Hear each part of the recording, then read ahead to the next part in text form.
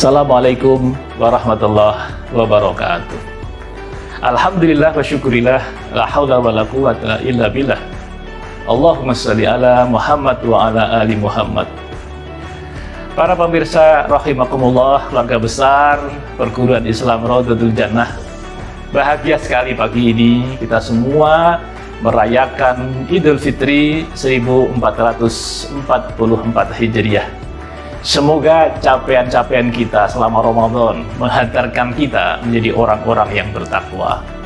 Taqabbalallahu minna wa minkum taqabbal ya karim. Semoga amal ibadah kita diterima oleh Allah Subhanahu wa taala dan kita mendapatkan hadiah surganya Allah.